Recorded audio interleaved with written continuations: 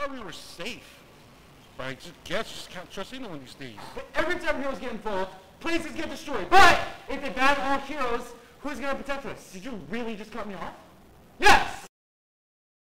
There is something we need to talk about. We can't keep avoiding the subject. We need to bring Oceania Watch back. We already searched for possible crews. Her name is Dana.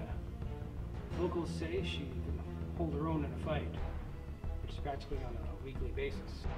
Zachary, known as Zerion, best hacker I've ever seen. Tristan. He's a mercenary, sniper to be exact. Good enough for the military to have their eyes on him for years. The world needs the Oceania Watchers again. We just need you to give us the word.